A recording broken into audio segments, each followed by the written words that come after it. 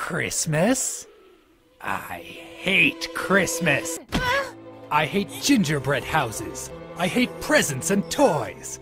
I hate reindeer and all of the good girls and boys. I hate the Who's down in Whoville and all of their songs. I hate their wumpets and flumpets and gooback for bras. I hate carols and sleigh rides and fa la la la las. But above all things else, I hate Santa Claus. Bah humbug.